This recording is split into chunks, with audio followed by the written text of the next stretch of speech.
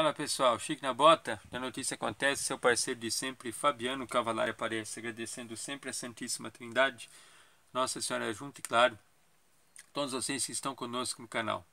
Sem a participação de vocês, nós não existimos. Críticas e sugestões construtivas também são sempre muito bem-vindas.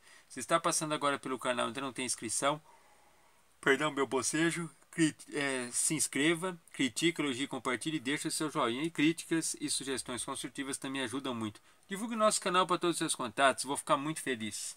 Bom, pois é, uma onça com dois anos de idade, por sinal, foi encontrada no bairro Jardim Ayanguera, em Ribeirão Preto.